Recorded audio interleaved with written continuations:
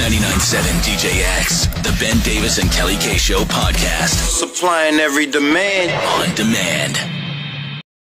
Every single week, we open up our show to allow you to drop a little secret. Maybe it's a little secret, maybe it's a, a bigger secret.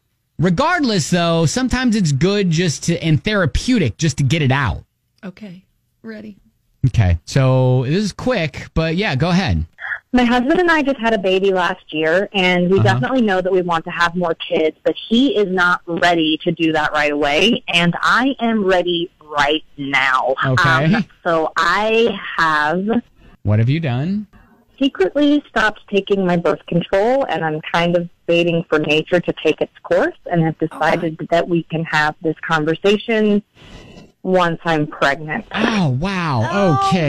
Wow. Um, Listen, I am not confident that's the best way to go about that. yeah, typically that is a lifelong decision. So, Yeah, that both parents need to be involved in.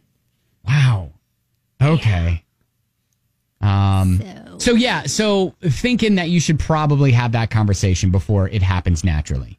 yeah, deception is not the best way to go about having kid number two. Yeah. So if you're Let's talk about that. If you let's let's be open with our partner. If you are new into a relationship, new into a marriage, this could be a setting the bar family secret. It could be. An example of what not to do.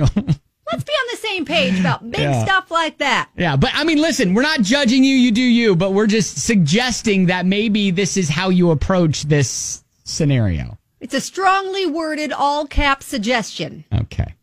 Uh, that is family secret here on Thanks for sharing, though. on 99.7 DJX.